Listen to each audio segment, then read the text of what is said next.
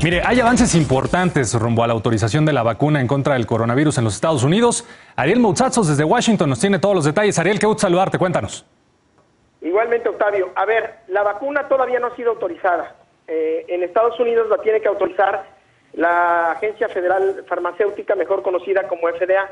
Sin embargo, un comité de expertos eh, de la FDA, interno, acaba de eh, emitir una opinión, una recomendación de que la vacuna sea autorizada. Esto lo que hace pues es poner a la vacuna más cerca de su autorización y eh, supongo que en las próximas horas, puede ser hoy más tarde o mañana quizás, la vacuna podría ser autorizada. Evidentemente, la FDA para autorizarla primero tiene que escuchar al Consejo de Expertos y tomar otras consideraciones.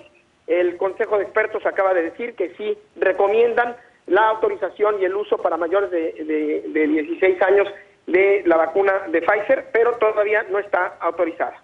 Digamos que entonces es el visto bueno interno antes de la autorización oficial. Esto sería una muy buena señal, como mencionas.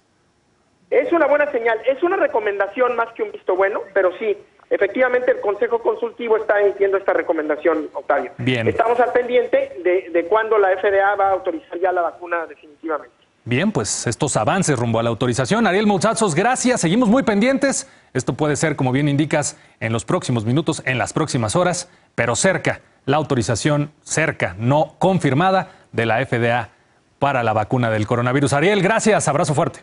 a ti y al auditorio. Buenas noches.